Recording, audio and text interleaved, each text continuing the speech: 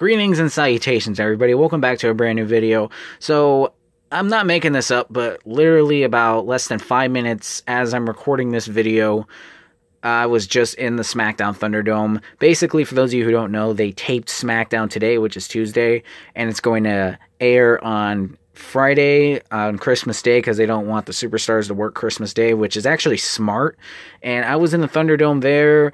Uh, for those of you who want to try and see where I am, just look out for the kid with the Santa hat and the SmackDown shirt. I was also spotted by.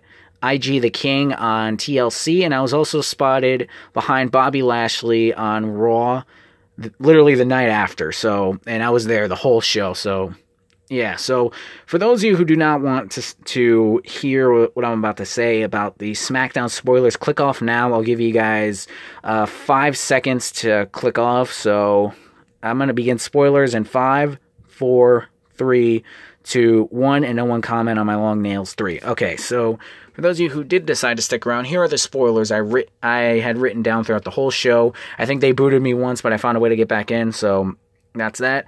So these are all the spoilers from SmackDown, alright? So I know I misspelled a lot of stuff. I think I misspelled Asuka's name, but you know what, whatever. So let's start off with the show. So the show was actually pretty good and a great show opener. It had Roman Reigns versus Kevin Owens in a steel cage match. It had some great spots. They each threw each other into the cage. Reigns tried to escape, but I think Owens pulled him back in. Well, no, Owens didn't pull him back in. I think uh, no, I'm trying to remember what happened. Basically, Owens grabbed the door, smacked Roman in the head with it.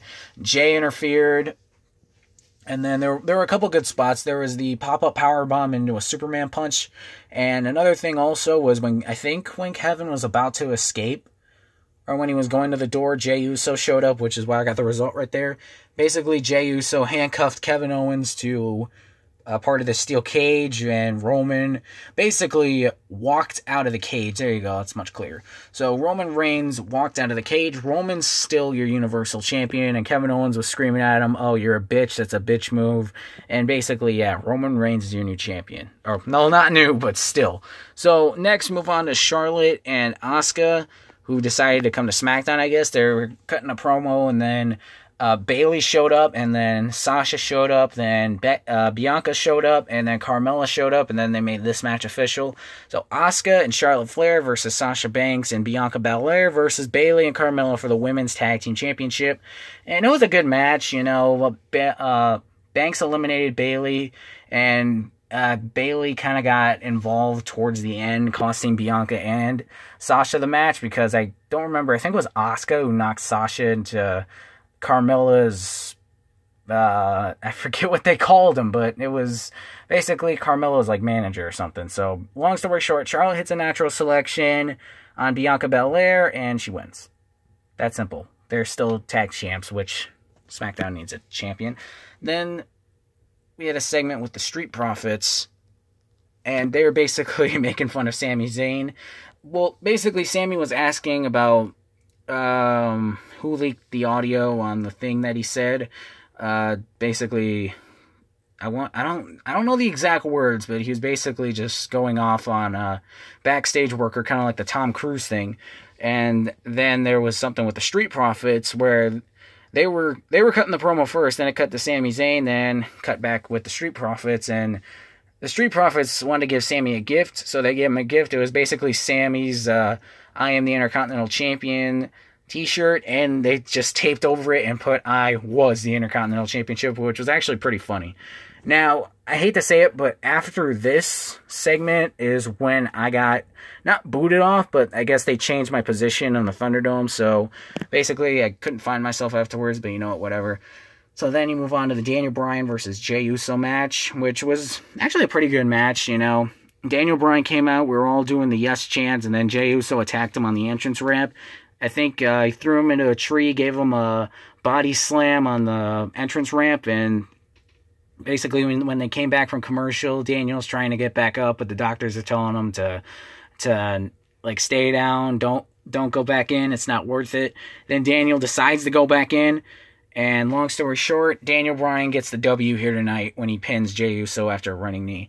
then there's a not a backstage segment, but the camera cuts to Big E getting ready for his match So he was set to face Sami Zayn in a lumberjack match for the Intercontinental Championship, and it was uh it was a good match. You know, had some good spots. The the bad guys who were helping Sami Zayn were getting involved, attacking Big E, and then uh, Big E's guys were just helping him. And there was a cool spot in there where I think everybody was going after each other. Gulak was, I think, going to punch Sami Zayn, or he was going to punch somebody.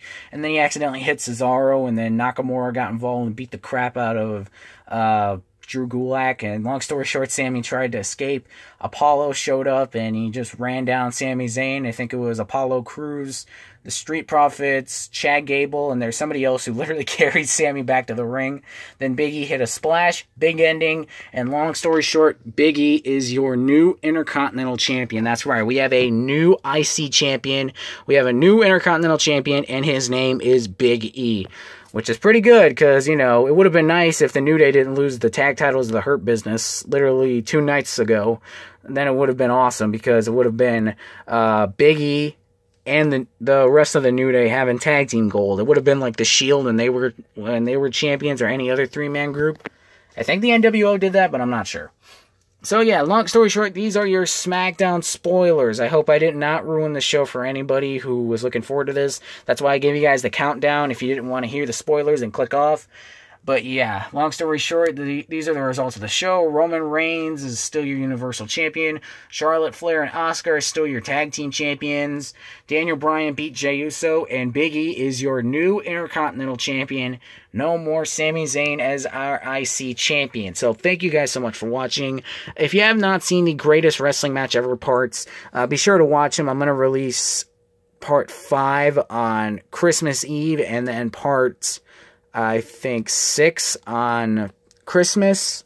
And I do just I do uh, want to do one last thing with that match, but you guys are gonna have to wait on that. And I do plan on making a big review on something. Well, not big. Well, it's kind of a big review. It's basically showcasing something that I've been working on for the past three months, and I'm gonna do that the last day of 2020. So the last day of this horrible year I'm going to hopefully make a video that can get some views. If not, then oh well. So yeah, that's the video. Thank you guys for watching. Drop a like, comment, share, subscribe, and I'll see you guys in the next video. And before I go, if anybody out there has spotted me in the Thunderdome, please let me know, alright? Um, like I said, I'm the kid who's who has thrown up the SmackDown logo on my shirt before. I'm literally the kid that is wearing a SmackDown shirt and a Santa hat. I was seen by I think it was IG the King, but I was basically spotted behind Bobby Lashley on Raw. On SmackDown, I'm literally right there in the opening. You can see me. And then in TLC, I was seen behind. I think no, I was seen in the Carmella and Sasha Banks match. Not really behind anybody, but you know I'd get behind them any day. So anyway, that's I'm gonna stop babbling. So that's the video. Be sure to watch the greatest wrestling match ever. And yeah, other than that, these are your spoilers. And yeah, so Merry Christmas to you all. I'm going to make another video on Christmas. So yeah, thank you guys for watching. Drop a like, comment, share, subscribe, and I'll see you guys in the next video. Thank, thanks for watching, and Merry Christmas to you all.